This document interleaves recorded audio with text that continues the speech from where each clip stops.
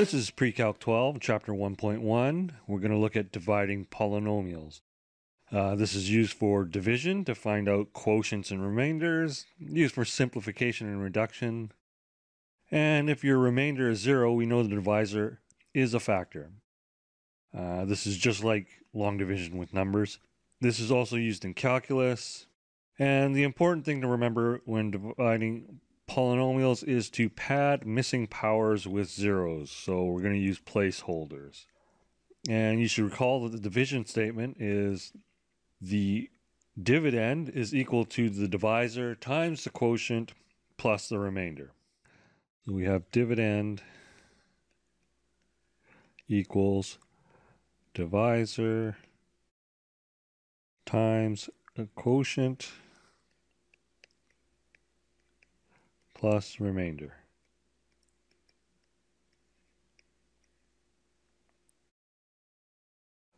Let's look at an example.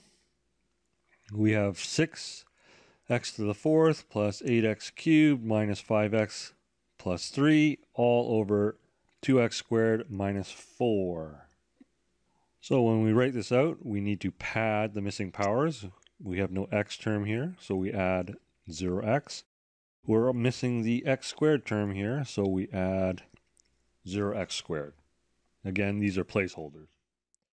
We have to look at the leading terms. So we're looking at 2x squared and 6x to the fourth. How many times does 2x squared go into 6x to the fourth? That's 3x squared. And we put it above the x squared term. Now we just multiply this partial quotient by the divisor. So we have 6x to the fourth plus 0 minus 12x squared. Okay, we're subtracting this, just like in long division. And now we have this goes to 0. 8x cubed minus 0, so that's 8x cubed. 0 minus negative 12x squared. We have two minus signs, so that's a plus. And we bring down a term. Just like in long division with numbers. Okay, now we look at the leading term. 8x cubed. How many times does 2x squared go into it? It's 4x. Okay, again, we multiply. We get 8x cubed plus 0 minus 16x. Again, we are subtracting this.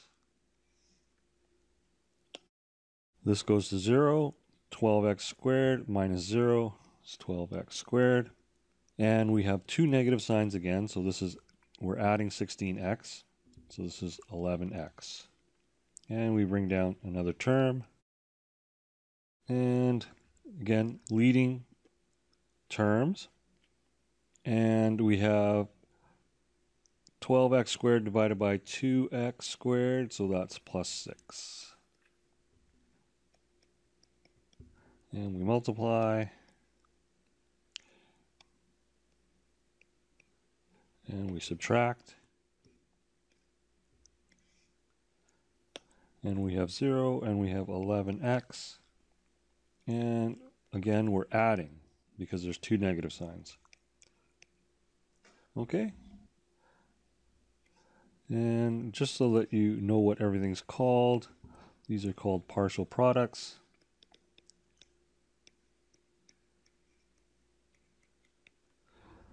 You can call them partial quotients as well because we're dividing.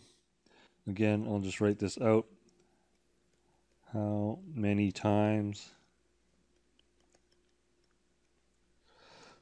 does 2x squared go into 6x to the fourth?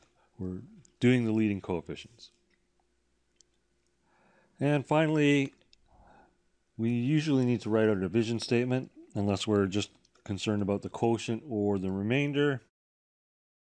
For this division statement, we have 6x to the fourth plus 8x cubed minus 5x plus 3. We don't need to pad here for the division statement. 2x squared minus 4 times 3x squared plus 4x plus 6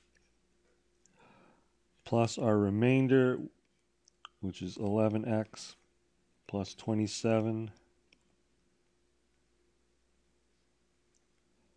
remainder. Remainder. And the note here is to watch out for negative signs in subtraction because that turns it into a plus. Okay, we have a special case when we're dividing by a monic linear binomial. Linear binomial is bx minus a. A monic linear binomial is where b equals 1. If b does not equal 1, then stick with long division. Okay, so but for this special case where b is 1, so we have x minus a, we can use what's called synthetic division. And for synthetic division, we leave out the variable and the leading term for the divisor. And we still need to remember to use zero placeholders for missing powers. We use negative a so that we can add instead of subtract. So here's an example. 2x cubed plus 3x squared minus 17x plus 4, all divided by x plus 4. I won't show you long division again, but I'll show you the work. Our answer is 2x squared minus 5x plus 3, and our remainder is negative 8. We have x plus 4. We negate the 4 because we have x minus a. So in this case, a is negative 4 we're copying the coefficients over.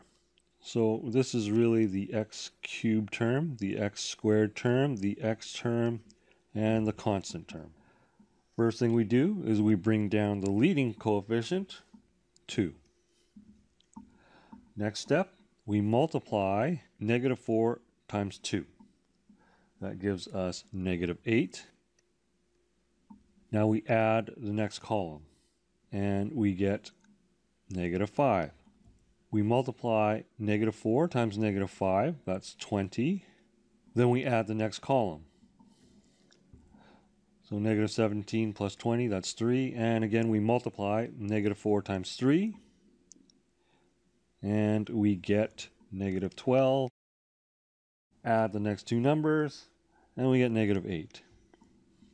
Here we have negative 4 times 2, negative 4 times negative 5, negative 4 times 3. And this is 3 minus 8. This is negative 17 plus 20. And this is 4 minus 12. Okay, and again, this is our remainder. And negative 8 matches the negative 8 here. Our solution has this is the x squared term, this is the x term, and this is the constant term. So basically everything is shifted over 1. So we have 2x squared minus 5x plus 3. And that's our quotient, which matches the long division. So synthetic division is shorter, but it's abstract. I know that took me longer to explain, but if you just do the operations, it's much shorter. And again, we need to write out our division statement for the answer. 2x cubed plus 3x squared minus 17x plus 4 equals our divisor, x plus 4, times our quotient, which is 2x cubed, uh, squared, minus 5x plus 3. adding our remainder, which is negative 8. And we have another special case where we can use synthetic division. The procedure is a little bit different. If you have trouble with this, just stick with regular long division. Okay, again, we have bx minus a. We change our divisor to x minus a over b. And then we divide the intermediate quotient by b. Okay, so our divisor here is negative 3x plus 6. So we take negative 3x plus 6 and we change that into x minus 2. So we perform our synthetic division, bring down the negative 6, multiply by 2, negative 12, add, we get negative 12, negative 12 times 2 is negative 24, add, and we get 9. 2 times 9 is 18, add the two numbers, and we get 8. Now we just divide our quotient. We leave the remainder alone. We need to divide that by b. And in this case, b is negative 3. So negative 6 divided by negative 3 is 2. Negative 12 divided by negative 3 is 4. And 9 divided by negative 3 is negative 3. So our answer is 2x squared plus 4x minus 3, remainder 8. Recall that this is x cubed, x squared, x, and c, and our answer is shifted over, so this is x squared, x, and c. And that completes this lesson.